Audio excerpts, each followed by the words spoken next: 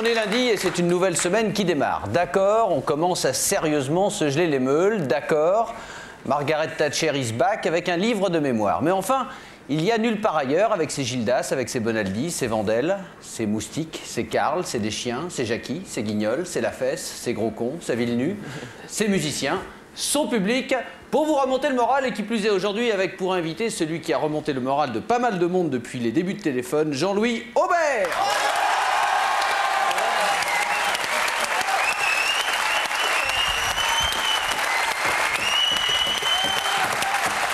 Oh là là, oh là là Oh là là, qu'il a une riche actualité, Jean-Louis Aubert. Jean-Louis Aubert, il va jouer au Zénith le 8 novembre, mais c'est complet. Donc, date supplémentaire le 7 novembre. Oui, c'est bien cela. Oui. Il y a toujours cet album, H, en vente libre. Oui, bon. Et puis, le rappel numéro 2 de téléphone qui sort demain dans le commerce. Rappelons à ceux qui ne le sauraient pas que le premier s'est quand même vendu à 800 000 exemplaires. Jean-Louis Aubert, que je connais personnellement depuis maintenant 25 ans. Eh oui, On va pas recommencer. ça sera bref.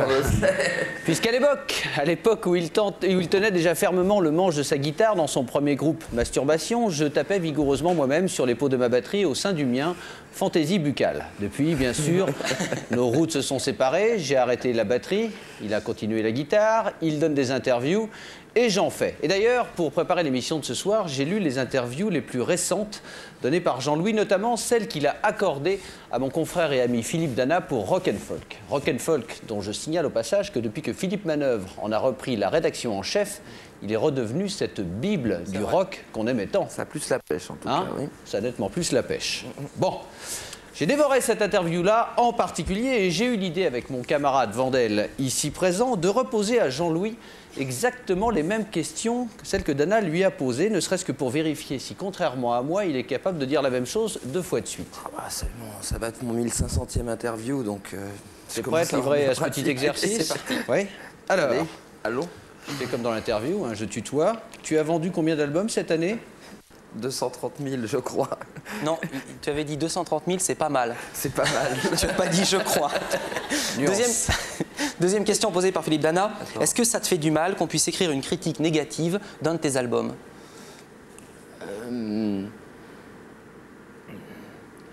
C'est une question, hein, n'essaie pas de retrouver les marques. Non, sérieusement, est-ce que J'essaie ça te fait du la réponse. Non, non, mais est-ce que ça te fait du mal J'ai dû, réellement dire, j'ai dû dire que si elle était bien écrite, oui. En, en général, c'est vrai que j'évite d'acheter les journaux où je sais qu'il y a une mauvaise critique. C'est est- C'est exact.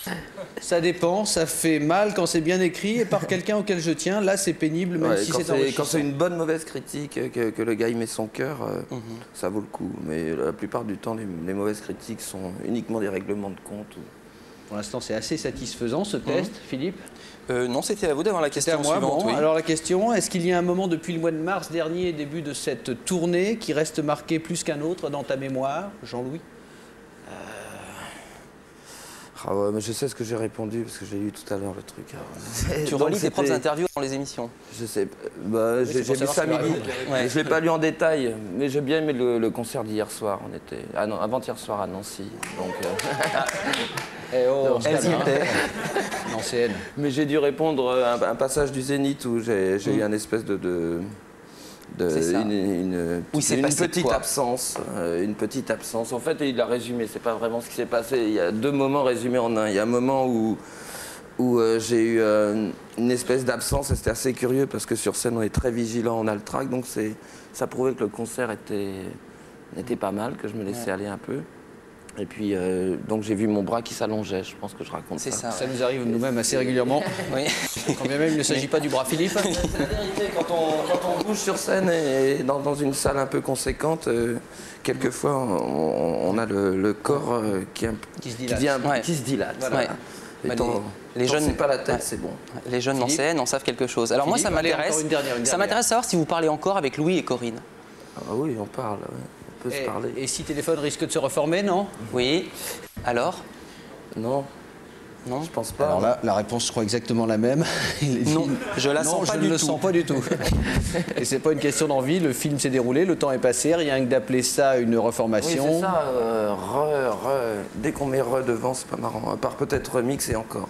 D'accord. Jackie, déjà des questions de nos téléspectateurs Oui, non, c'est juste pour dire bonjour à Jean-Louis. Tu vois, Jean-Louis, euh, euh, la roue tourne. Aujourd'hui, monsieur Eh oui. téléphone, c'est moi.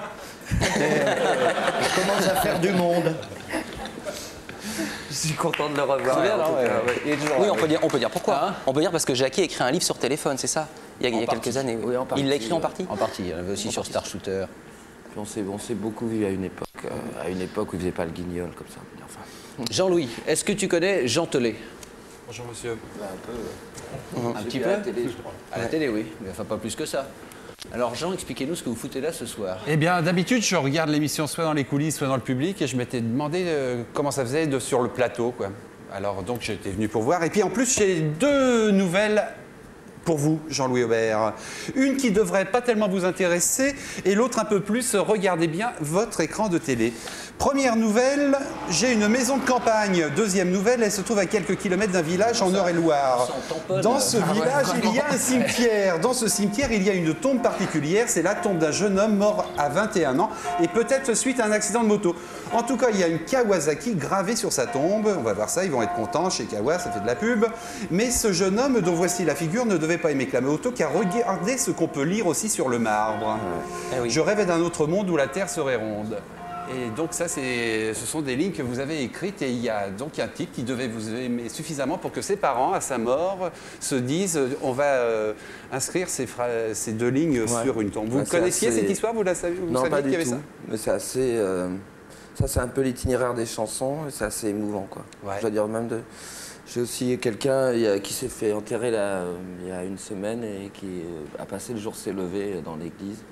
Bon, ben, je sais pas quoi, ça veut, ça veut dire que ça a dû compter pour eux. Et enfin, Ouais, c'est assez étonnant que un- ça. c'est un drôle de truc, enfin, que ça compte pour les gens quand ils sont vivants, mais qu'en plus ceux qui les aiment autour pensent que ça compte au point de leur passer la chanson euh, quand ils sont morts. Est-ce que vous, Non, vous enfin, moi j'ai eu déjà envie de jouer de la guitare euh, quand, quand un copain est mort, de jouer une chanson. C'était plus euh, ce qui nous correspondait à nous, une chanson des Stones. Et est-ce que vous vous souvenez du moment où vous est arrivé cette phrase, où vous l'avez écrite, euh, l'endroit où vous étiez, euh, le moment précis où- Tout à fait.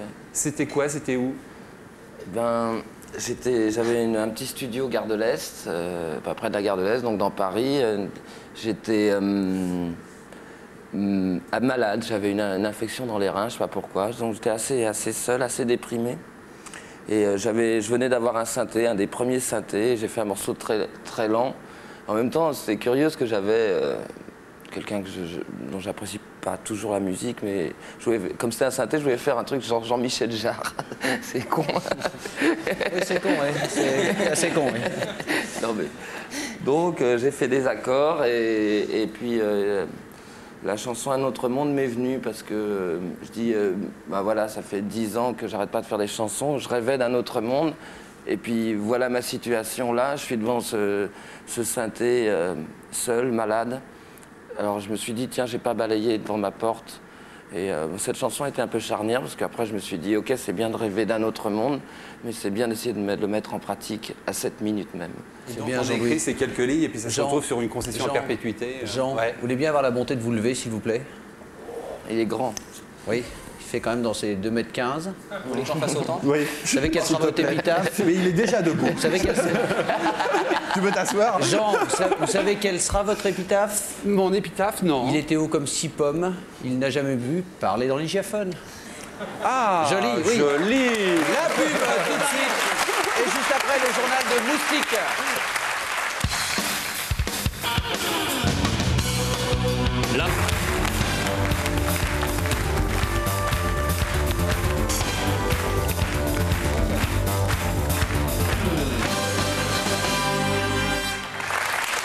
Confusion possible, vous regardez bien nulle part ailleurs avec euh, ce soir pour inviter Jean-Louis Aubert, avec nous jusqu'à 20h30. Un nouveau chroniqueur parmi nous, Vladimir Tchernin. Vladimir Tchernin est russe et rien de ce qui touche au rock en Russie ne lui est étranger, n'est-ce pas Vladimir? Oui, c'est c'est exact, mais aujourd'hui, euh, Je vous écoute, ton Vladimir. Voilà. Nous sommes en direct. Donc, Vladimir. Oui, C'est exact. Vladimir. Donc ce que je voulais dire, euh, euh, il y a aujourd'hui Allez-y, Vladimir. Commence. C'est exact, Antoine. Donc aujourd'hui en Russie, il y a en Russie, il y a tout ce que vous voulez, toutes les genres de musique que vous avez vous euh, vous-même Oui. ici. Euh, vous savez, cette euh, cocotte minute qui était l'ancien euh, ex l'ancien ex l'Union soviétique, elle a pété et ça partait Oui. dans toutes les directions et donc, donc toutes les musiques possibles et imaginables à ce moment-là sont présents là-bas. Donc les rock euh, sanglants, les rock euh, je sais pas métal et tout ce que vous voulez, que grands. Jean-Louis est allé en Russie. Oui, je sais, je sais, c'est noté chez moi. 90, c'est noté. oui. C'est noté. Bah, J'ai- beaucoup de métal, et tout, ouais. Donc et voilà, mais aujourd'hui, comme c'est, je veux dire, c'est tout ce que vous avez vous-même, moi je voulais vous présenter autre chose qui est une particularité des, des Russes, et ça s'appelle euh, la papsa nostalgique. La quoi? Papsa. Pop ça. Popsa. Popsa, c'est un nom euh, péjoratif de pop musique. Voilà. Donc le premier titre, ça va être hum, Nathalie des images Vous avez des images? Oui, absolument. Regardons-les. On montre. Oui. C'est vous qui l'appelez comme ça, la papsa, ou c'est le genre. euh, Qu'est-ce que c'est que cette jeune femme là D'accord. C'est Nathalie Lapina. Oui. Lapina Donc, Lapina. Ouais, Lapina. Elle boit de la vodka parce qu'elle s'appelle Lapina ou, Non, attendez. ou l'inverse La chanson s'appelle Les collégiens prostitués. Donc vous allez voir des images d'archives aussi. Les quoi, les collégiens? Prostituée. Les collégiens collégiens prostitués, prostitués, les voilà. les collégiens. ah C'est-à-dire les filles de, de bonnes familles, les collégiens ont été obligés pendant euh, la Révolution de se prostituer avec des soldats de l'armée rouge. Elle est belle, hein On les voit pas là. hein On voit que Euh, Ça rouge, y est, c'est fini, il fallait regarder. Ah, ça va vite, hein. Ouais, Voilà, voilà, voilà, voilà. Elle apparaît. Enfin, c'est pas du tout de la pop, ça s'apparente plus à de la chanson réaliste. euh. Oui. Oui, mais en fait, les Russes, ils appellent tout ça pop musique. Oui. Et même les rock euh, social, ça aussi, c'est la, la pop papsa. Bon, tout est dans le même panier, oui, c'est kiff kiff. on, a- on avait dit qu'on parlerait de rock. Comment ça, on Bon, je vais vous montrer. une- Oui, du rock, Vladimir. Euh, Non, non, c'est pas du rock là. Ça, ça, ça va être. euh, C'est un groupe, euh, si vous voulez, qui s'appelle. Le groupe porte le nom Lubé. Lubé parce que c'est Lubertsy, le banlieue malfamé de, de Moscou, genre votre Sarcelles, par exemple, ici à Paris. Donc c'est un groupe qui est sorti de là-bas. Aujourd'hui, ils sont très, très respectés et les gens vachement riches. Et c'est un peu euh, ce qu'on appelle là-bas rock euh, social. C'est-à-dire, c'est c'est le rythme. Bon, bref, regardez. Et le titre, il s'appelle euh, Alaska, et le contenu, à peu près, c'est comme ça que. euh, Alaska- C'est aussi de la pop ça, ça? Si vous voulez, oui, c'est D'accord. c'est difficile lire. Regardons les images. Oui, on regarde. Voilà, les titres donc Alaska et le contenu euh, Amérique, arrête de faire la con, euh, rends-nous Alaska. Ah, ils veulent que les Américains Ouais, prennent l'Alaska. absolument, Oui. Et c'est encore des images d'archives. Oui, absolument, elle utilise tous les temps. Ça, c'est un peu. Il y en a pas. Oui, on a l'impression quand même que les images d'archives servent beaucoup pour les clips, non? Oui, cela dépend des, des clips, des genres de musique, mais sinon, dans les papsa, oui, c'est assez Enfin, les, les deux que vous nous montrez là. Oui. Mais c'est bien ça, moi. je Ouais, ouais, Ça, c'est de la musique qui est achetée par des, comme chez nous par des gamins de 15 ans. Et si vous voulez, c'est pour des ados, oui. Ce sont des, des stars des ados, mais d'ailleurs. C'est absolument pas une musique grands- nostalgique pour les nostalgiques du, du léninisme et du Non, marxisme. non, non, non, non, pas du tout. C'est tout l'inverse. C'est la nostalgie des temps anciens quand, euh, si vous voulez, les nobles ont perdu contre euh, l'armée rouge, etc. Pardonnez-moi, Vladimir, je crois qu'on a des, des appels. Jackie, oui Oui, on nous demande pourquoi tous ces trucs sur la Russie, pourquoi jamais rien sur les États-Unis? Voilà, à part ça, je peux dire Jean-Louis, qui est, hum, il n'est pas mal euh, placé sur le marché de, Moscou. Il y a deux radios françaises là-bas. Il y a deux titres de vous qui on, on passe assez régulièrement. Ça s'appelle Temps à nouveau et Entends-moi. Les Russes sont assez effrayants. C'est Voilà. pas la, la petite chanson Musica Maya là, que, que Boris Bergman euh, avait écrite, dont il avait écrit les textes? Non, ça, je l'ai chanté à la télé. euh, Une chanson russe J'ai fait un, une espèce de jeu télévisé une fois. Pour, pour que ça marche vraiment pour vous, il faut, faut que vous étiez, euh, éditiez Ouais. un disque là-bas. Là, on peut vous aider. Je vous arrange. Alors, ceux qui font du rock en, en Russie et qui n'aiment pas les États-Unis, ils font de la popsa, et ceux qui aiment les États-Unis, font quoi De la Pepsi c'est ça. c'est. Hein vrai. ça. Ouais, c'est ça. Ok. Vladimir, votre visite est toujours un enchantement. On se retrouvera, je le crois, dès la semaine prochaine. Pour l'instant, c'est l'heure de notre rendez-vous avec Karl, avec une parodie absolument extraordinaire de Jurassic Park. Non à l'hégémonie américaine de Jurassic Park.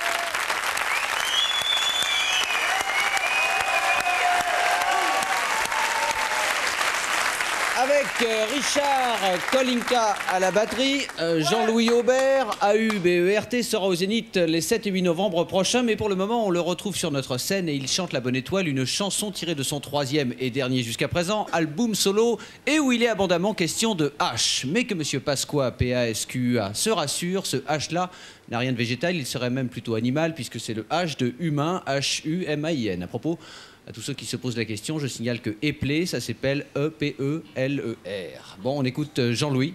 La bonne étoile, E E-T-O-I-L-E. Jean-Louis.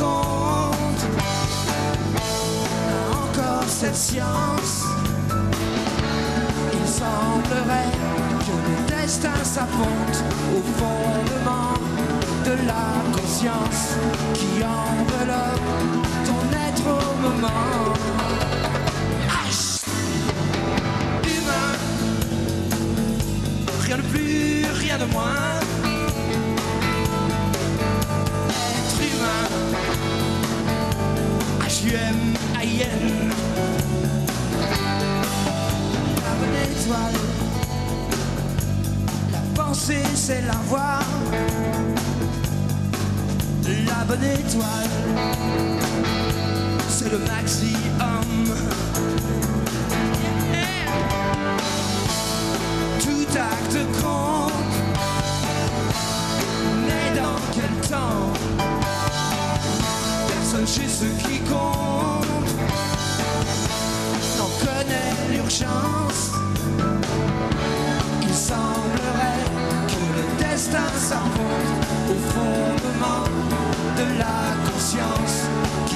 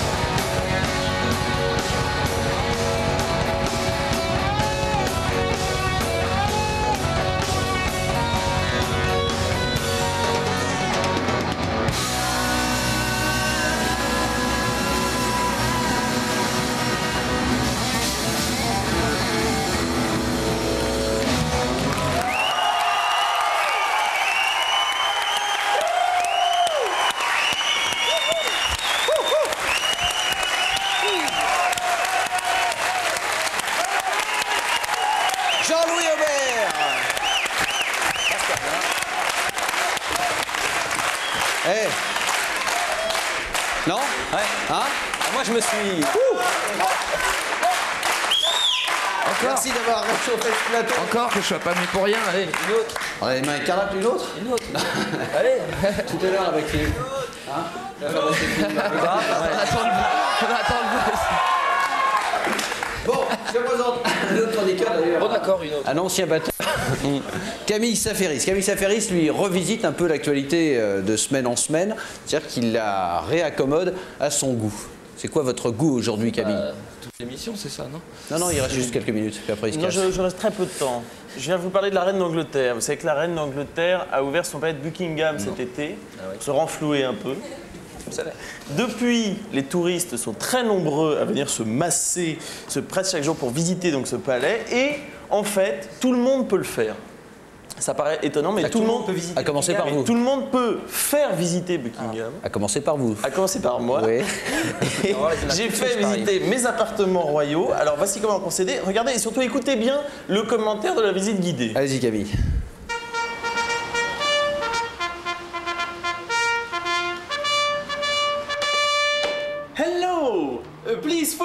Alors ici, vous avez une première salle euh, entièrement meublée Ikea qui date de 1992. Les peintures ont été refaites à la fin du XXe siècle. Et puis ici, c'est ce qui est fort intéressant euh, dans ce palais, la salle de bain qui possède 367 fleurs et qui est un véritable chef-d'œuvre d'un peintre de la. Nous nous dirigeons maintenant vers la cuisine, notez au passage la lampe halogène, puis la cuisine qui est un endroit euh, entièrement équipé, notamment de deux feux ici. Deux feux, deux feux, je tiens à le dire. Et alors, et alors, évidemment, si vous n'avez pas le temps de, de venir, je vous ai rapporté quelques souvenirs de Buckingham. Alors vous avez ici les assiettes. Merci. Ah, il y en a pour tout le monde. attention, de attention. Buckingham. Ah, ça y est, une bande de jeunes. Et c'est Et la attention, attention, voilà. c'est les couverts en argent.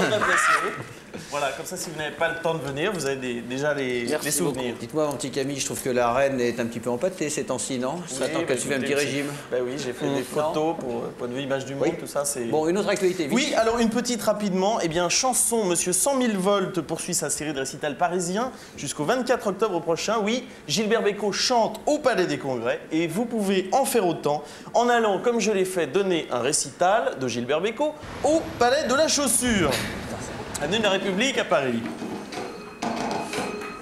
Et maintenant. Alors, vous verrez, les vendeuses sont charmantes, elles possèdent un sens du rythme assez inouï. Ce sont les vraies vendeuses. C'est les vendeuses du magasin, voilà. Alors très important, n'oubliez pas de coller euh, votre cravate euh, de véritables petits pois extra fins pour un réalisme total. Hein, c'est très très important. C'est assez surprenant. oui. Mais alors là, vous voyez, donc je, l'ai apporté. Je sais on pas si c'est à cause du palais de la chaussure, mais c'est vrai que vous chantez comme un pied. Je vous remercie. J'ai pris mon pied, cela dit. Je fais une grande tournée euh, euh, très bientôt. Au départ, en fait, j'avais pensé euh, faire un concert de, de- de Jean-Louis Aubert. J'avais pensé prendre Philippe Aubert à la guitare et Jackie au téléphone. Et à la station mais Aubert. ils- ils n'ont- ils- à la station Aubert, mais alors ils n'ont pas voulu. Et je crois que Jackie va nous expliquer pourquoi. Jackie. Jackie Vous avez vu le cachet que vous m'avez proposé? C'est pas du rock alternatif comme Gilbert Bécaud, téléphone. Mon cher Voilà. Jackie, je vous signale que depuis le début de l'émission, des personnes sur ce plateau ont eu la gentillesse de me procurer votre livre, Téléphone Igelin Star Shooter, paru en 79. Je soulignerai ou je rappellerai qu'il n'a pas vendu 800 000 exemplaires, contrairement au premier appel de téléphone. merci, merci beaucoup euh, Camille d'être ce soir. ce, que- ce qui va se passer la prochaine fois. Oui, la prochaine fois, rapidement. Alors très rapidement, nous verrons la prochaine fois comment installer l'airbag sur votre femme et comment épouser Vincent Lindon avec un téléphone sans fil. Voilà, possible. Camille Saferis.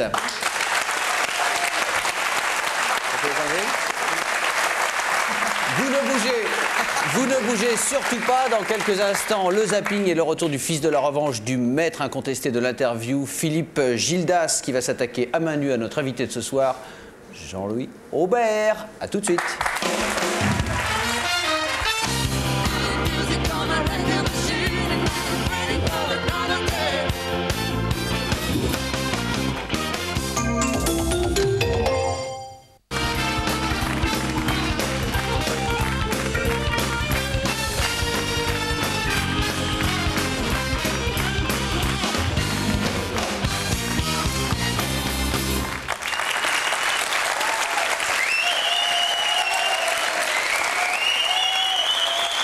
Nulle part ailleurs, acte 2, scène 1. Sur Canal, c'était hier la journée de la télé. Une fête au sens plein du terme, puisqu'à l'occasion de cet événement exceptionnel, 17 délégations représentatives de tous les services de notre chaîne bien-aimée sont parties dans toutes les régions de France à la rencontre de nos chers abonnés. Pour ma part, j'ai eu la chance de me retrouver à Lyon et je tiens une fois de plus à remercier chaleureusement les Lyonnaises et les Lyonnais aussi pour le formidable accueil qu'ils nous ont réservé. En effet, à peine débarqués du TGV, fûmes-nous guidés dans un des meilleurs restaurants de la ville, dont je tairai le nom pour qu'on ne m'accuse pas de lui faire de la publicité, Léon de Lyon, où l'on nous fit goûter des joues de cochon, de la poularde de Bresse avec sa crête, du gras double sanglé dans son tablier de sapeur, le tout arrosé de quelques hectolitres de vins locaux. Après le restaurant, je ne me souviens plus très bien ce qui m'est arrivé, mais je tiens à remercier Sabrina, Micheline, Ghislaine, Barbara et Yolande pour avoir illuminé ma nuit blanche dans la ville de Michel Noir et je veux qu'elles sachent que je garde à leur disposition leurs effets personnels retrouvés au petit matin dans ma chambre d'hôtel. Je les ai, les filles. Mais je ne suis pas le seul à avoir éprouvé la ferveur d'un accueil aussi chaleureux. Michel Denisot, que les organisateurs de cette journée avaient eu la bonne idée d'envoyer à Marseille, eut toutes les peines du monde à échapper à des hordes de supporters de l'OM venus se faire dédicacer leurs battes de baseball, nunchaku, points américains et autres nerfs de bœuf, en gage d'amitié, mais aussi d'allégeance toute féodale à ce grand seigneur du football. Pendant ce temps-là, Jean-Pierre Coff sillonnait les routes d'Auvergne, un bon saucisson bien sec à la main, pour sonder la France profonde et prendre la température de l'opinion qui, dans ce pays célèbre pour ses cratères, lui est acquise depuis longtemps. Un peu plus au sud, Jérôme Bonaldi retrouvait sa patrie d'origine, la Corse, et s'efforçait de justifier devant des foules hostiles les propos parfois déplacés que tient régulièrement Philippe dans le secret de son bureau. Je ne citerai que journée de la télé en Corse, euh, on ferait mieux d'appeler ça journée du piratage.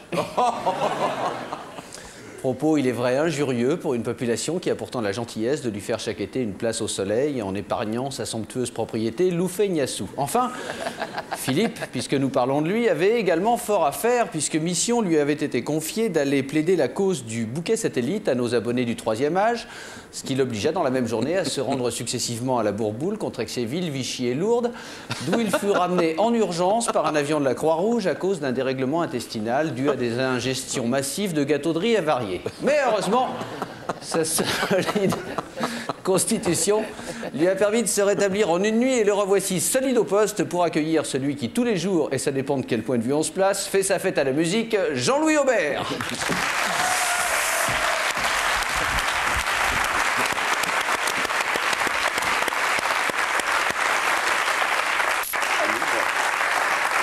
Ça n'est pas vrai.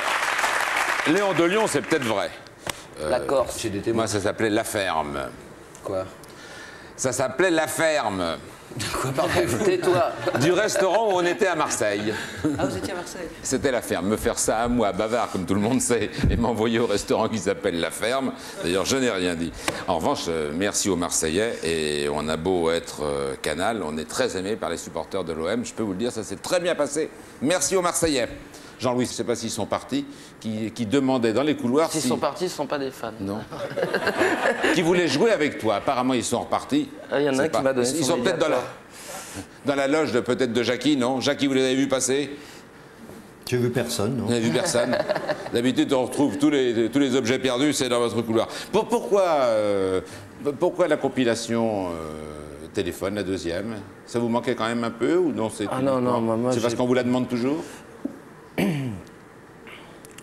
Non, c'est des histoires d'argent. Enfin, Ça fait plaisir quand même. oui, oui, non, c'est très bien, quoi. Bon, d'abord, c'est pour que les disques qui existent en CD soient, et soient un, un peu compilés, quoi. Je m'en occupe pas vraiment. euh, euh, c'est bien, c'est bien, mais pour moi, c'est pas tout à fait le présent. Alors, c'est bien que ça existe, mais disons que c'est pas, ça dépend pas tout à fait de moi. C'est plutôt la maison de disques qui décide de faire euh, la compilation. On essaye que ça, qu'elle soit pas mal faite. Une, dernière, tout. une dernière question. Mais le disque leur appartient, c'est curieux. Les, les chansons, Enfin. une fois qu'on les a faites, euh, au niveau commercial, elles appartiennent aux maisons de disques. Ah, Et, et Et en même temps, euh, quand on voit que de la première euh, Certainement, quand je mourrai, euh, il y aura des chansons qui sortiront, de compilations qui sortiront. essaye de le faire le plus tard possible quand même. Ouais, Mais euh, n'empêche que ça doit faire quand même plaisir quand on voit que la première compile rappel fait euh, 800 000 Ah, ça, exemplaires. c'est génial. ouais. C'est-à-dire que 10 ans de téléphone, ça reste pour longtemps quand même. Oui, et en plus, ils ont raison de faire ça parce que s'ils me demandaient, s'ils me demandaient de m'en occuper, euh, je, ne, je ne- je ne le ferais pas. Je préférais toujours le présent. Et c'est vrai que j'y croyais pas quand cette compilation est sortie. Si la ville nue est de passage, je suis d'accord. Pendant ce temps, backstage.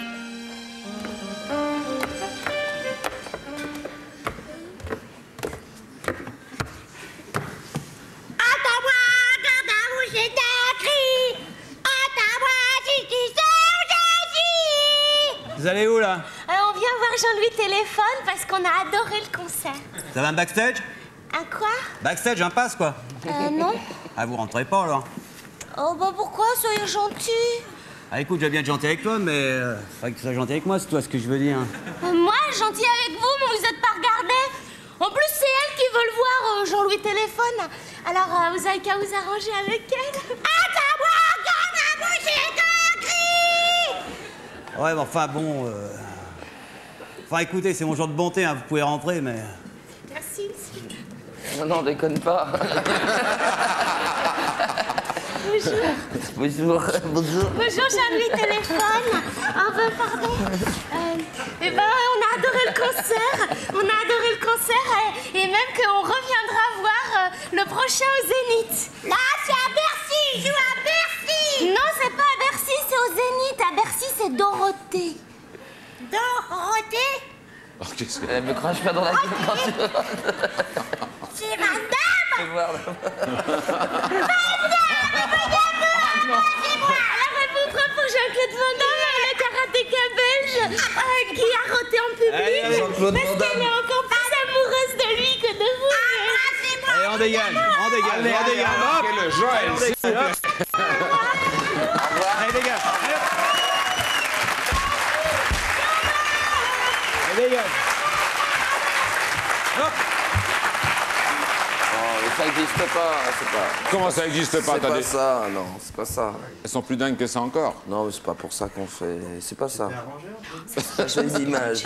C'est une image, C'est pas ça. Oh, mais ça, c'est les fantasmes de Chalumeau, ça. Ouais, c'est ça. Mais en revanche, PPD a Ah, des fans Chalumeau, comme ça. c'est Chalumeau. C'est Chalumeau Ah, à qui tu dois. Tu verras ça. Oui, Jackie, oui, avant de donner la parole à PPD. Salut. Bonjour. Eh, c'était génial tout à l'heure. Merci. Pourquoi tu n'as pas chanté une deuxième Pas parce que vous n'avez pas voulu. Comment? Oui, Jackie, pardon. Oui, les Marseillais, j'y étais aussi, vous avez remarqué. Exact. Nous appellent, tous nos amis de Marseille nous appellent pour me dire euh, parle de nous, parle de nous. Alors je leur dis quoi On me tutoie maintenant? Non, mais il est con. il est vraiment trop Jackie, il bête. a dit que t'étais con. Il le sait, je lui ai déjà dit hier, car il était vraiment à Marseille et il était tout à fait grave. Il faut dire qu'il y avait beaucoup de messages à filer aux Marseillais. Donc il y a fait un triomphe. Euh, on va rester ensemble, on va regarder l'actualité tout de suite et puis on parlera ensuite de Jean-Louis Aubert.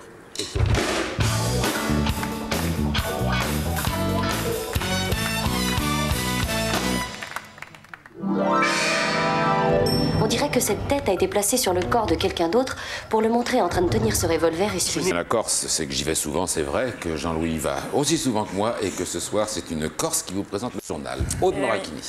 Édouard Balladur a beaucoup reçu aujourd'hui des hommes politiques de tous bords, des syndicalistes et ce soir des stars de cinéma avec en tête Catherine Deneuve et Isabelle Adjani. Alors qu'ont donc en commun tous ces gens? Eh bien ils ont tous un avis sur euh, les négociations du GATT qui vous le savez sont âprement discutées avec les Américains. Les explications de Damien Givlet. Le tout cinéma à Matignon pour défendre l'exception culturelle dans les accords du GATT. Daniel Toscan du Plantier Isabelle Huppert, Roman Polanski, Claude Lelouch et un visiteur de marque, Jean-Claude Carrière et Roger Planchon, Claude Berry étaient venus dire au Premier ministre leur crainte de voir le rouleau compresseur américain déferler un peu plus sur les écrans d'Europe. Il a pensé qu'il fallait trouver des solutions positives, c'est-à-dire qu'il n'était pas nécessaire de développer un je ne sais quel anti-américanisme, et qu'il fallait trouver euh, une solution qui soit en, en- en notre faveur, euh, d'une façon qui soit ouverte au monde et pas dans une vision étroite et nationaliste. Matignon accueillait ce soir sur ses marches le plus beau casting de France. Autre casting quelques heures plus tôt pour Édouard Balladur qui recevait toute la classe politique pour chercher le consensus sur sa politique de fermeté. Premier invité, Jacques Chirac. Le Premier ministre et le gouvernement euh, peuvent compter, euh, cela va de soi, sur mon entier soutien. Soutien mesuré en revanche pour Michel Rocard. Les socialistes seront vigilants dans ce combat au service des intérêts de la France, a-t-il prévenu alors qu'André Lajoigny est beaucoup plus critique et accuse le gouvernement de vouloir chercher le compromis. Nous lui avons rappelé que les propositions sur un accord partiel nous semblaient totalement inappropriées. Il a dit, mais c'est une page tournée. Je veux bien que la page soit tournée, mais nous voudrions qu'il y ait la fermeté nécessaire. Édouard Balladur peut en revanche compter sur le soutien du Front National. Les écologistes, eux, étaient plutôt contradictoires. Antoine Wechter le suit dans son attitude de fermeté, alors que Brice Lalonde, au contraire, est favorable à l'accord et souhaite qu'il signe. Suivaient ensuite les syndicats, mais le marathon n'est pas terminé pour Édouard Balladur, qui reçoit demain Valérie Giscard d'Estaing. Il y a beaucoup de commentaires de Jean-Louis. Qu'est-ce que tu disais? Je sais pas. Tu veux pas répéter? En tout Euh, cas. je- Oui, vas-y. Bon, il a vu tout le monde, quoi. Ah oui, c'est bien. Ouais, c'est bien. Et il y a quand même unanimité sur ce sujet. En plus, Po- Polanski, polonais, américain et français, c'est bien quand même. Oui, comme ça, c'est bien. Et pourquoi tu ne fais jamais de chansons en anglais? Euh, c'est simple parce que je ne rêve pas en anglais. C'est simplement pour ça. Euh, Quand je suis à New York euh, pendant trois mois et que je vis ma vie, je commence à entendre des mots. Il faut que les mots résonnent, les mots ont une couleur, les mots suffisent pas.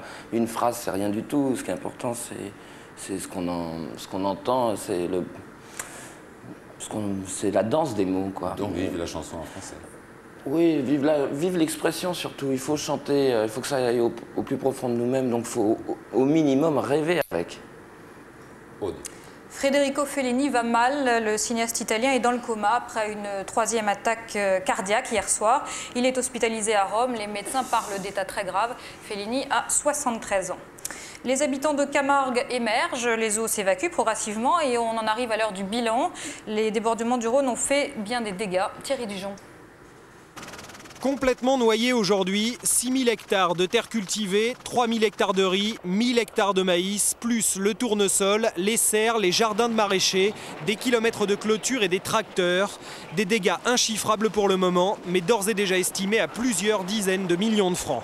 Les pompiers attendent maintenant le vent du nord qui ferait baisser le niveau de la mer et donc celui de l'étang du Vacarès, un étang dans lequel pourraient s'écouler les 100 millions de mètres cubes d'eau qui inondent la région. Mais chacun sait ici qu'il faudra des mois pour que les prairies de Camargue retrouvent leur aspect naturel. Chacun sait aussi que tous les risques ne sont pas écartés ce soir, dans la mesure où le colmatage de la digue du Petit Rhône n'est pas indestructible. On l'a vu la nuit dernière, quand l'eau a partiellement effrité l'argile avec laquelle les secouristes avaient bouché la brèche. Après la BNP, c'est le groupe chimique Rhône-Poulain qui sera la prochaine entreprise privatisée. Ça pourrait se faire dans les semaines qui viennent. Cela ne va pas bien au royaume de Mickey. 950 postes vont être supprimés. Euro Disney, qui compte 11 000 salariés. La société a perdu 1 milliard et demi de francs en 9 mois. Alors ce ne serait pas un problème de fréquentation. En fait, ce serait plutôt les gens qui, sur place, ne consommeraient pas assez, en tout cas par rapport à ce qu'espérait Euro Disney. La France envoie un bateau au large d'Haïti, une frégate de surveillance joliment appelée Ventose. Elle est, baptis- elle est basée en Martinique. Elle participera donc avec les Américains au blocus décidé par l'ONU. C'est quoi Ventose C'est le nom du bateau. C'est joli mois. Ça, veut un dire mois quelque chose? Ah oui, c'était un mois, ça devait Un être. calendrier révolutionnaire. Ça devait être novembre dans le calendrier révolutionnaire, mais je peux me tromper d'un mois. Mais c'est un mois d'hiver, à Ventose. Cela se passe en Angleterre, c'est le nouveau best-seller, il est paru aujourd'hui et on dit qu'il s'en est vendu pour cette première journée un toutes les trois minutes. Ce sont les mémoires de Margaret Thatcher, plus dame de fer que jamais, mais plutôt tendre bizarrement avec les Français. Alain Contrepas. Le voici enfin, le bébé que tout le Royaume-Uni attendait. Dans les bras de sa maman, il pèse 780 pages, soit 28 chapitres où l'on se rend compte que la Dame de Fer n'a rien perdu de son tranchant. Les portraits sont acérés et la rancune souvent tenace. Mrs. Thatcher a la dent dure, n'en déplaise à son successeur John Major, décrit comme un homme à se laisser décourager par les banalités. Quant à nos hommes politiques, ils n'ont pas tous, loin de là, les faveurs de Maggie. Jacques Chirac est carré et énergique, mais c'est un bulldozer. Mitterrand, lui, est plus calme, plus courtois, mais c'est un intellectuel français qui dédaignait volontiers l'économie. Finalement, ces deux-là, je les aimais bien, confesse-t-elle, ce qui n'est pas le cas de Valérie Giscard d'Estaing, jugée définitivement antipathique. Celui-là considérait la politique comme un sport réservé à l'élite, écrit-elle. En définitive, les mémoires de Margaret Thatcher livrent le destin d'une femme d'exception, mais une femme noyée aujourd'hui sous l'amertume. Une dernière information, sachez qu'on a retrouvé Hatchoum, le fameux chien du président qui avait quitté euh, l'Elysée il y a un mois sans crier gare. C'est une dame qui l'avait recueilli chez elle, elle a regardé à la télé l'annonce de 30 millions d'amis, elle a comparé les tatouages, elle a rendu le chien et la France respire. Voilà. C'est bien. Quand ça sera le premier titre, ça voudra dire que tout ira bien. Quand, quand... C'est tout à fait juste. La météo dans un instant avec une petite nouvelle. Merci Aude. Scoopette, l'info de l'info. Margaret, que penses-tu des hommes politiques? Tous des sans-couilles, sauf moi.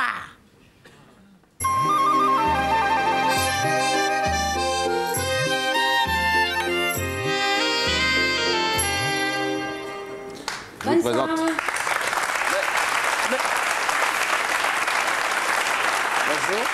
Faut être très gentil avec elle. Je te présente Nadine. Bonsoir, je m'appelle Nadine. Mais tu n'étais pas comme ça dans les loges. Euh, euh, je t'ai vu, tu avais des grands cheveux. Je m'appelle Nadine et je, je voulais euh, deux places pour votre concert. Oui. Alors euh, voilà, je suis venue faire la météo puisqu'on a le droit maintenant. Bah, Allez-y. Alors, est-ce que euh, je, je fais pas la météo s'il me dit pas que j'ai mes deux places pour le concert Tu les as. C'est quoi là? Bon alors on va voir la météo. Oui. Alors c'est c'est une, c'est C'est une, complètement- c'est une journée sèche euh, demain, donc c'est tant mieux, il n'y aura pas de pluie et il y aura des éclaircies dans le nord. Et pour une fois, si vous avez de la chance, on y va alors. Alors un anticyclone sur les Pays-Bas qui protège le nord du pays, une dépression sur les sons, je peux pas tenir la route comme ça. Ça t'apprendra. C'est bien a pas de problème. La moitié du public se demandait qui c'était. On l'a déjà vu quelque part. belles éclaircies sur la... On est passé au matin déjà, Jean-Louis Cap. Demain matin, de belles éclaircies sur la région parisienne et les Ardennes. Du soleil sur la Bretagne, les côtes de la Manche, la Nord-Picardie et la Belgique. Un ciel très nuageux sur l'Alsace, la Franche-Comté, la région Rhône-Alpes, la Provence-Côte d'Azur et la Corse. Partout ailleurs, ce sera un ciel variable. Demain L'après-midi. après-midi.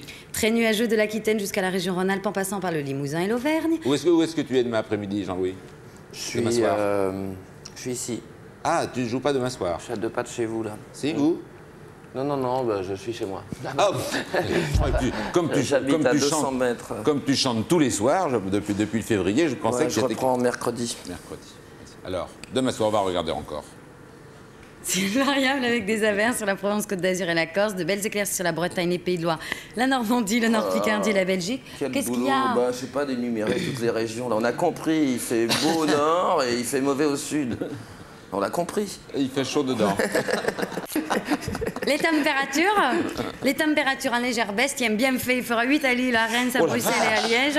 Non, mais il fait deux fois plus eh froid oui, dans le eh dans sud. eh oui, Ah, il ça caille. et Il fait alors. 9 à Paris et 24 à Ajaccio, mais... euh, Ah oui, mais dire toute la moitié nord, il fait euh, moins de 10 degrés.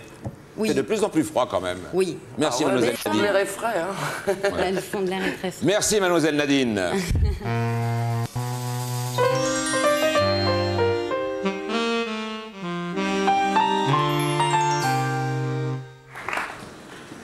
Jean-Louis Aubert, qui est venu euh, nous rejoindre aujourd'hui parce que ça méritait bien un coup de chapeau quand même. Je, je disais sans plaisanter, la tournée a commencé quand?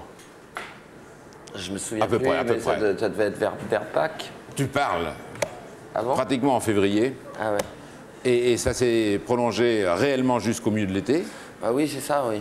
Et là, Donc, ça euh, recommence? C'était ce qui était prévu jusqu'au milieu de l'été, les festivals. Et puis, euh, comme il y avait des villes qu'on avait oubliées, ben, c'est c'est reparti. Jusqu'à? Jusqu'à. bah, jusqu'à Il n'en sait rien du tout. Jusqu'à la fin du Noël, mois. Parce, que- oui, parce qu'on va, on va en décembre, on va au Canada. Voilà, juste- non mais en France jusqu'à fin novembre, c'est quand même une tournée record. hein. Ça veut donc dire que les gens aiment bien te voir chanter, j'imagine. Sinon tu te Ouais, serais arrêté bien plus venir tôt. au concert. Alors si on veut bien apporter une guitare pour ceux qui ne verront pas Ah non, passer. mais- Ah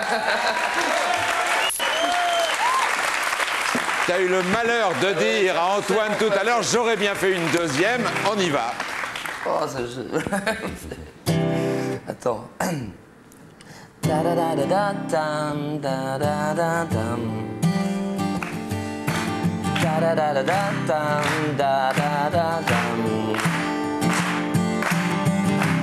Ah, il faudra que tu traces dans le creux de ma main une ligne immense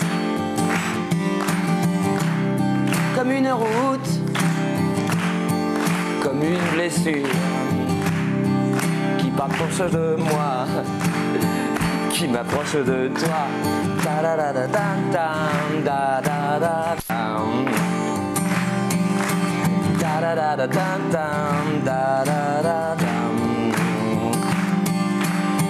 Ah, il faudra que tu glisses dans le creux de mon oreille les mots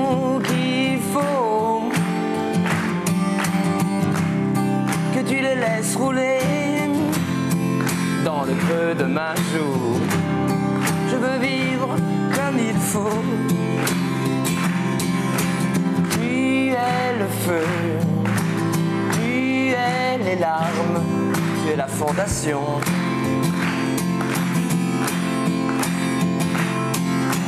Tu es la tendresse, tu es la noblesse, destinée.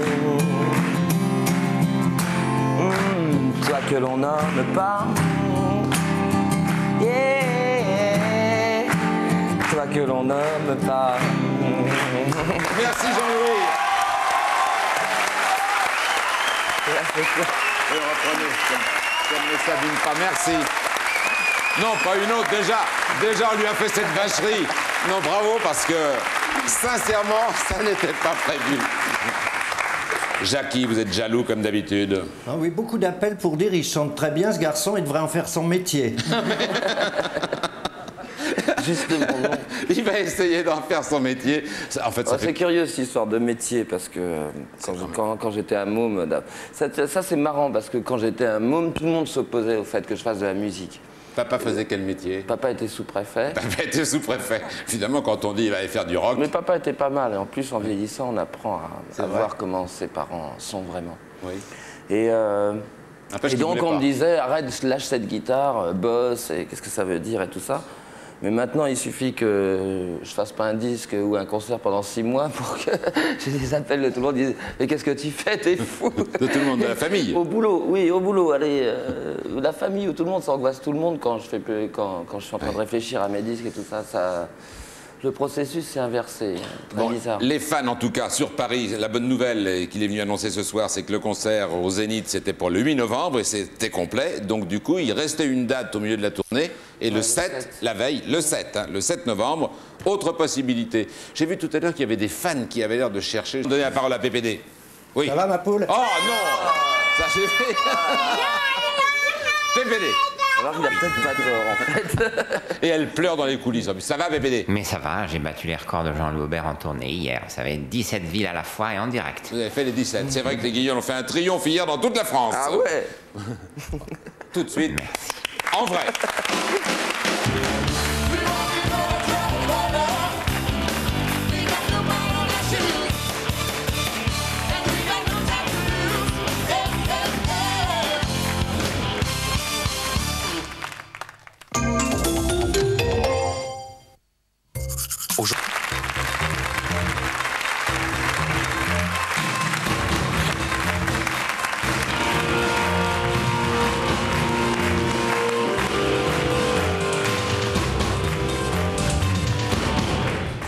Avec nous avec Jean-Louis Aubert jusqu'à 8h30. Muriel Fleury vous emmènera dans un instant chez les marabouts ou chez les féticheurs, vous verrez. Puis Bonaldi, mais d'abord, Monsieur Langue de pute. Ah, quelle horreur.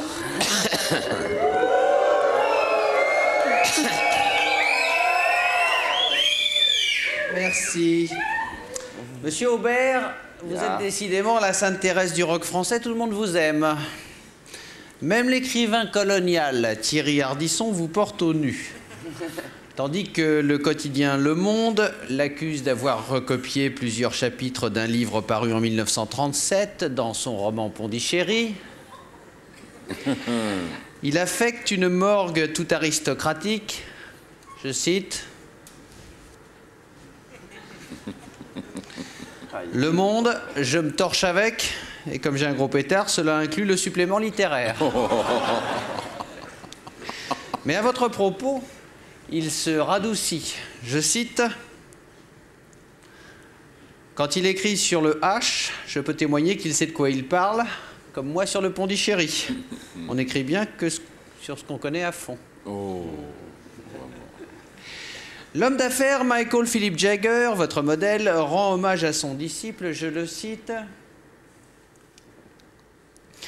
Il a toujours tout fait pour copier moi, il a le grosse bouche, il a beaucoup offrid sur la visage, mais j'ai encore un avantage qui distingue moi de lui, moi je parle bien la française langue.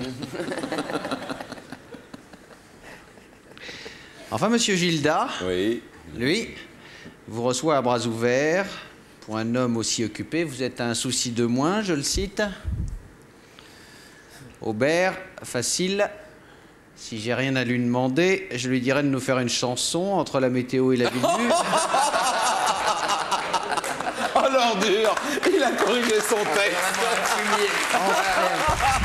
Il a changé au dernier moment. Il a...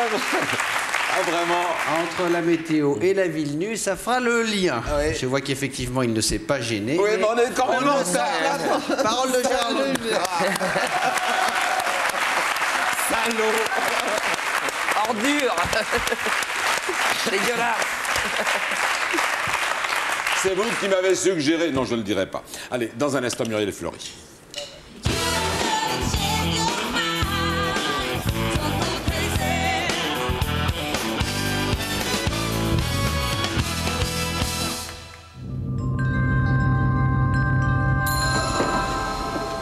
Tu veux toujours y aller? Tu en es sûr? Où est-il? Juste en face de toi. Avec Muriel Fleury, donc vous l'avez déjà vu sauter à l'élastique, puisqu'elle essaye tout ce qu'elle dit, prend ses risques. Aujourd'hui, c'est peut-être moins grave quand même, les marabouts. Non, c'est moins grave. C'est pas les marabouts, Philippe. Ah, pas- Justement, mais d'abord, il faut qu'on demande à Jean-Louis. Est-ce que vous avez déjà voyagé en Afrique? Oui, un petit peu. Est-ce que vous vous êtes intéressé à leur forme de voyance, de, de spiritualité de... Ouais, ouais, Afrique et Réunion aussi, Réunion, il y a beaucoup de ça, beaucoup de sorcellerie. Plus de vaudou, oui. Oui. Euh, en Afrique, oui, j'ai connu en particulier une équipe de foot euh, qui, euh, en Côte d'Ivoire, était obligée d'en- d'enterrer des crânes dans le but, dans le but de l'équipe adverse. Et ils se trimbalaient avec l'eau du marabout en avion. C'était. C'était pas très grave, parce que l'autre équipe faisait la même chose. Ouais, ouais, il paraît que c'était le, stade était comble la veille au soir. Et vous, Philippe, vous connaissez alors vraiment À la Paris, différence entre les marabouts et un chef coutumier Ah non, non, euh, mandingue. Mandingue. Ouais, non, les mandingues, je connais. Non, mais à, à Paris, il y a des marabouts, il n'y a pas de féticheurs. Mais la particularité, c'est que les marabouts sont des musulmans qui lisent l'avenir, enfin qui font des voyances avec le Coran, Les vrais. les vrais. Mais les vrais ne se font pas payer. Sinon, ils sont damnés jusqu'à la septième génération. Donc autant vous dire que, Jackie m'en parlait il n'y a pas cinq minutes, tous les marabouts qui vous distribuent des petits cartons dans les boîtes aux lettres, vous oubliez. Mais c'est vrai que j'étais curieuse et que j'avais quand même envie d'aller en voir un. Et puis euh, j'ai un ami africain, cinéaste, qui m'a dit écoute, moi je te propose peut-être mieux, je te propose de parler de nous sans vraiment euh, vous moquer tous parce qu'on est noirs et qu'on a des pratiques qui vous paraissent un peu curieuses. Et il m'a fait rencontrer un chef coutumier mandingue. Donc pour les gens qui ne savent pas ce que sont les mandingues, il parle le bambara, qui est la langue euh, africaine des Maliens, qui est parlée sur toute la côte occidentale. Jusqu'au Sénégal, oui. Voilà. Donc je vous disais que les marabouts eux, lisent dans le Coran. Lui, ce chef coutumier qu'on a rencontré, il fait de la voyance dans les coris. Les Les coris, coquillages. c'est des, voilà, ce sont des coquillages. Alors on va l'écouter pour qu'il vous raconte ce que, à quoi ça correspondait effectivement. Un vrai chef, donc. Un vrai Oui, chef. C'était la, c'était la monnaie à l'époque. C'était au temps médiéval. Bon, on s'en servait pour faire le système Trog, tout ça. Bon, il y a courrier béni et courrier véhiculaire. Alors, le courrier béni, on s'en sert maintenant pour euh, appeler les astres, les astres euh, voir les chemins, prévoir les, les malheurs, les bonheurs, tout ça, et puis aider son peuple. C'est le rôle d'un chef coutumier à travers le courrier. Mais alors, là, là, vous êtes payé un bide, alors. Ça veut dire qu'il n'a pas voulu. Alors, ce chef coutumier que je vous le présente quand même, parce que peut-être que Jean-Louis d'ailleurs le connaît, c'est un musicien qui est très connu par tous ses petits frères africains. Quand je dis ses petits frères africains, c'est vraiment son rôle. Cet homme s'appelle James Diarra. Diarra, en Bambara, c'est le lion. Il appartient donc au clan royal. Il est d'une famille de sorciers et il a amené avec lui, puisqu'il est musicien, il est acteur, et il est également président des- du Forum des artistes francophones. Donc en ce moment même, il est à Maurice. et Je l'ai vu la semaine dernière. Et vraiment, il a un rôle de, de guide spirituel, de conseil. Et c'est vrai que les frères Touré, vous savez ce que ça veut dire Touré? Non. Éléphant. Les Touré, c'est les éléphants. Salif Keïta, Keïta, c'est la panthère. Ah oui. Donc chacun a bien sa place. Et, et lui, il est le- leur Voilà. fédérateur. Et lui, c'est un petit peu le fédérateur, c'est le sage, c'est le conseil. Si Diarra dit euh, vous ne jouez pas ce soir, je peux vous affirmer qu'aucun des Africains que je viens de citer ne, ne Ah oui, prendra donc- le risque donc- de jouer dans une salle le pour soir. eux, c'est un, c'est un- quelqu'un de très C'est important. vraiment un repère. Ouais. Mais, mais vous, il a refusé donc de vous faire, si je comprends bien. Ben, il n'a pas refusé parce que, parce que je m'y suis prise gentiment et que je lui ai dit que nous, on ne connaissait pas et que le meilleur moyen de dire aux gens, il y a des gens qui font des choses sérieuses, c'est de le montrer. Alors ça a pris beaucoup de temps, ça a pris un mois et demi, parce qu'il y a un conseil des sages, chose que j'ignorais, il y a un conseil des sages maliens qui est à Montreuil et il leur a demandé... Ah, je vais dire au mien, le mien il me prend 100 francs à chaque fois et n'hésite jamais, lui il réunit pas les sages. Eh ben pas du tout. Et eux, les sages, ont été euh, un petit peu inquiets au début. Ils se sont dit, mais euh, il n'y a pas un homme blanc qui a vu ça, encore moins un œil blanc derrière une caméra, et c'est très risqué. Bon. Et James a expliqué que peut-être c'était bien qu'on voit comment ça se passe. Donc pour la première fois, une caméra a été autorisée à filmer une séance de voyance. Alors je vous laisse découvrir. 1, 2, 3, 4, 5. idamani kiti benko idamani kiti benko idamani kiti benko Cory. Ça, c'est sa canne de chef spirituel. Et puis, c'est une séance de voyance comme, euh, comme on pourrait. Il n'y a pas de boule de cristal, c'est les Cory qui parlent. Et ils parlent aux Cory. kono kono Il kuma les mbala Et, et- et en fait, ça c'est une connaissance qui se passe de père en fils, j'imagine. dans Absolument. Son grand-père a 105 ans, vit toujours là-bas. Et, euh, et ce sont des gens qui sont extrêmement ré- te fait de la voyance. reconnus. Après son travail de la voyance, il te donne en cori un signe de remerciement, de bonheur et d'hospitalité. Ça, c'est pour que tu gardes ça en souvenir. Ça, c'est donc l'ami qui m'avait, euh, qui est l'ami qui m'avait introduit auprès de ce chef coutumier. Voilà la petite Cory. Ben non, il n'y a pas eu de voyance. Et moi, je trouve que pour une fois, c'est formidablement honnête. Parce qu'on est allé le voir, il n'y avait jamais aucune caméra qui avait filmé ça. Et le pauvre s'est concentré tant qu'il a pu. Sauf que moi, avant que j'arrive, j'ai attendu 10 minutes dehors pour qu'il purifie l'appartement. Les techniciens sont arrivés, le réalisateur est arrivé. Et bon, il fallait qu'on tourne, il fallait qu'on tourne, les heures passaient. Et euh, ben, il m'a dit deux ou trois petites choses que je vous épargnerai parce que ça concerne ma santé, ça n'a pas beaucoup d'intérêt. Et en revanche, j'étais très étonnée parce qu'il m'a dit Je suis gênée par le, technicien qui est derrière vous. Je, je vois des choses sur ce jeune homme. Donc on a arrêté, c'était pas le but du jeu, c'était que moi je teste. Mais ça m'a un petit peu intriguée, j'étais un petit peu ennuyée parce que je me suis dit, mais que, que vont penser les gens Que lui aussi euh, ne sait pas ce qu'il dit. Et là, je trouve qu'il a eu une réponse qui, moi, m'intéressait, mais sur le plan euh, ethnologique, c'est que en Afrique, on va consulter effectivement un chef coutumier, mais il y a 25 ou 30 personnes, disons 30 personnes qui vont se rendre pour une voyance dans les coris auprès du chef coutumier, lui lance les coris et ne retient qu'une personne, et tous les autres doivent partir.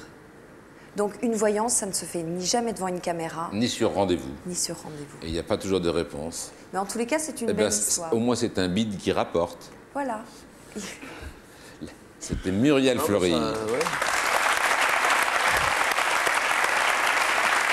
Les chiens.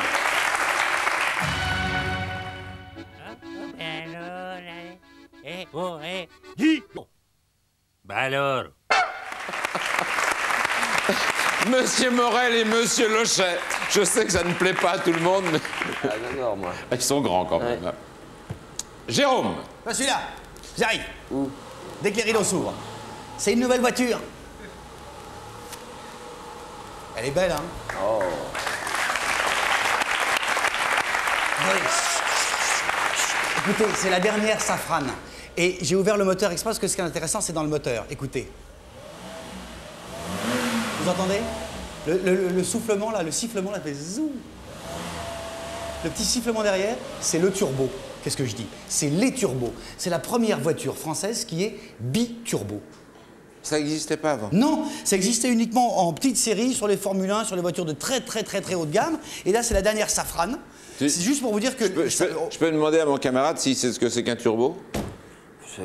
J'imagine. Ça va plus vite, ça recycle ce qui sort du pot d'échappement. C'est un peu ça, ouais. Et alors pourquoi deux? Bon, je vous raconte très très vite parce que sinon vous n'allez pas comprendre. Moteur à explosion, ça, ça aspire un mélange d'air et d'essence, ça le comprime, on fait une petite étincelle avec la bougie, ça explose, c'est le moteur à explosion. Plutôt que d'aspirer le mélange air-essence, quand le piston il fait comme ça, eh ben on va, lui mettre, on va lui injecter, on va lui compresser dedans un mélange air-essence. Et pour ça, il faut un compresseur. On appelle ça un turbo. Alors c'est ça un turbo, voilà comment ça marche.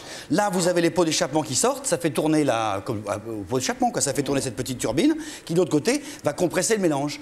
Le seul problème, c'est qu'un turbo, quand on a une 6 cylindres, un seul turbo, c'est lourd, ça a de l'inertie. Alors maintenant, ils ont mis deux turbos. Voilà, voilà le nouveau turbo, c'est une petite, euh, petite truc comme ça qui marche. Voilà. Mais c'est On pas a au pot plus d'échappement derrière, c'est dans le moteur. Alors, c'est dans le moteur, Ouais, avec Je les gaz d'échappement, Je peux pas mettre ça sur mon pot d'échappement directement derrière. Non. Non. Ou alors vous, vous demandez à Gareth de vous le faire. mais Vous mettez derrière, vous mettez un raccordement. Non, c'est Jackie Darbois qui me demandait si c'était comme ça que ça marchait. C'était juste pour vous dire que maintenant on peut avoir des voitures françaises haut de gamme, biturbo, là ça va. Pfou, des vitesses qui ne sont pas permises Oui, par la loi. Ja- Jackie n'a pas tout compris. Oui, Jackie Oui, on me demande beaucoup d'appels pour me dire tu pars déjà? Bah, je dis bah oui, c'est Bonaldi maintenant.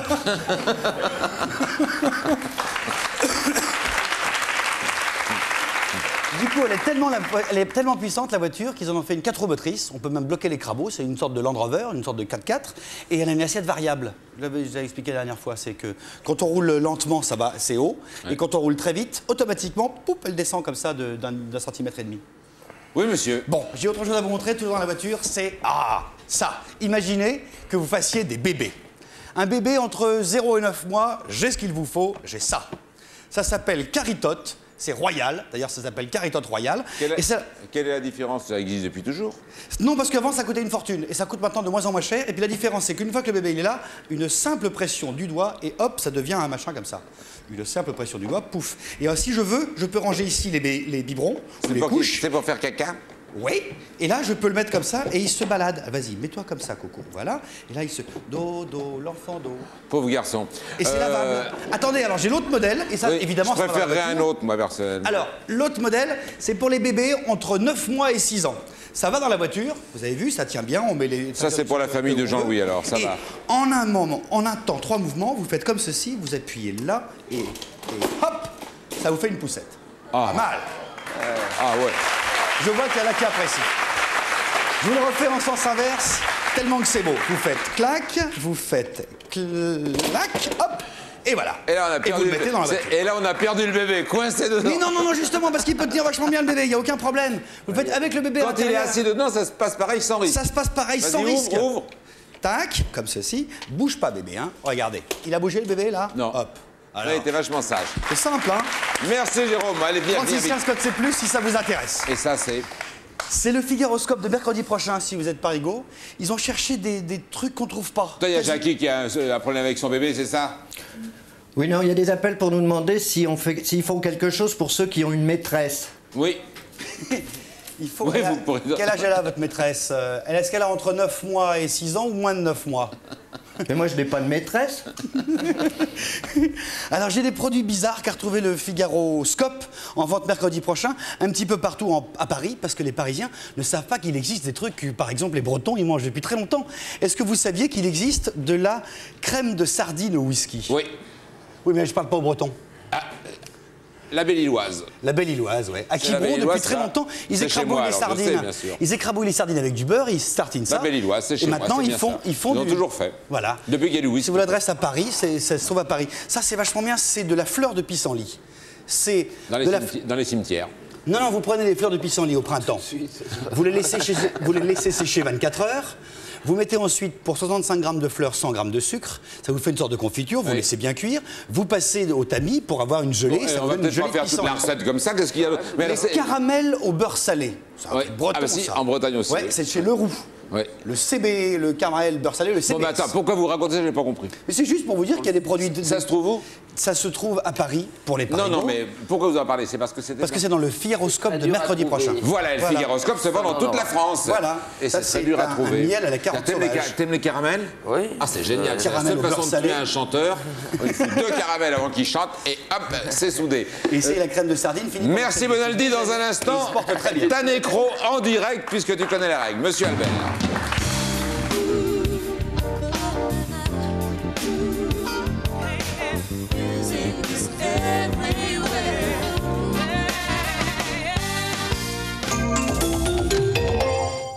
Albert, Albert Algou, a le redoutable honneur tous les soirs de faire entendre à celui qui ne devrait plus être là son hommage nécrologique. J'en pleure Dès ce matin, avant même que les médias aient eu le temps de s'en faire l'écho, la disparition de Jean-Louis Aubert suscitait les réactions affligées de la rue. On vient d'apprendre la disparition du chanteur Jean-Louis Aubert. Quelle impression ça vous laisse Merde C'était de représenter vraiment la chanson française dans ce qu'elle avait de plus neuf et de plus, de plus, de plus beau. J'étais amoureuse de lui quand j'avais euh, 14 ans. J'aimais beaucoup sa musique, mais les paroles étaient euh, franchement très souvent débiles. Je l'ai très bien aimé à ses débuts, comme jusqu'à la fin. Bon, il était jeune, il était rigolo. J'aurais préféré quand même qu'il ait un peu plus de tenue. Oui. Hein, dans la rue, entre autres. Voilà.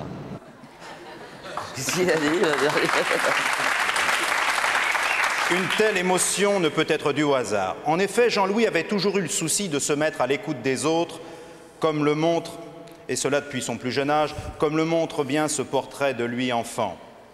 Mais comprenant que la parole ne lui suffirait pas à transmettre ses émotions, Jean-Louis se mit à la musique et à 15 ans fonda son premier groupe en compagnie d'Antoine de Caunes, qui prétend aujourd'hui avoir oublié cet épisode, car c'est après avoir vu le jeune Antoine, les yeux exorbités, laisser glisser ses doigts le long de son manche en un mouvement de va-et-vient de plus en plus fébrile, que Jean-Louis, très ébranlé de constater que son camarade qui était à la batterie n'avait pas de guitare, décida d'appeler le groupe Masturbation. Pour s'être à son tour livré à ce rythme binaire qui fait toute la richesse du rock'n'roll, Jean-Louis sentit son acuité auditive décroître. Devenu sourd comme un pot, il s'associa alors avec de jeunes malentendants, bien décidés comme lui à se faire écouter, ce qui devait d'ailleurs l'amener beaucoup plus tard à chanter Entends-moi, ma musique est un cri. La formation faillit s'appeler Sonotone. Jean-Louis opta pour téléphone qui sonnait mieux. Très vite, avec ses amis, Jean-Louis se fit l'interprète de toute une jeunesse angoissée dont il sut formuler en chanson tous les problèmes. Que ce soit celui de l'argent de poche avec argent trop cher ou celui de la mauvaise haleine avec hygiaphone. Mais on sait depuis Claude François, on le sait depuis Claude François, il arrive que le téléphone pleure. Oui, le téléphone pleure quand tu n'es pas là. Et ce fut le cas lorsque la ligne fut coupée entre les membres du groupe et Jean-Louis. Pourtant, celui-ci poursuivit avec le succès que l'on sait sa fulgurante carrière, jusqu'à ce qu'une de ses dernières apparitions publiques décida de son sort. S'étant rendu à Sarajevo en compagnie de Florent Pagny, pour soutenir le moral des habitants assiégés, Jean-Louis fut justement, injustement, injustement accusé d'avoir provoqué la reprise des bombardements en chantant la bombe humaine, alors qu'en vérité, c'est un sniper serbe myope qui déclencha le carnage en prenant de loin les boucles d'oreilles de Florent Pagny pour deux goupilles de grenades bosniaques. Depuis, Jean-Louis Aubert se montrait très amer, abattu, déprimé, et pour en finir, hier, chantant Métro c'est trop, c'est dans le RER qu'il s'est jeté sous une rame à la station Aubert. Les 7 et 8 novembre prochains, sa dépouille électrocutée sera transférée au Zénith, où Jean-Louis, qui sut toujours faire passer le courant entre son public et lui, électris- électrisera donc comme jamais la foule de ses fans survoltés. La foule.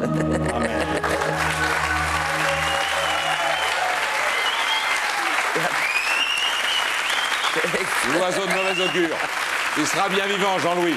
Il sera bien vivant le 7. Le 7 est une date rajoutée, le 7 et 8 à Paris au Zénith. Mais d'ici là et jusqu'à la fin novembre, il tourne, il passe peut-être près de chez vous, puisque c'est la fin de sa tournée. Il y en a encore pour 30 jours. Merci à Jean-Louis d'être venu. Les deux albums dont on a parlé, Téléphone, la deuxième compil, ça sort demain, et H, c'est celui qui se vend et fort bien depuis presque un an, jour pour jour. hein. Mhm. Tu étais venu l'année dernière. Demain, nous recevrons ton copain. Ah ouais? Alain Bachoun. Mais pas pour chanter.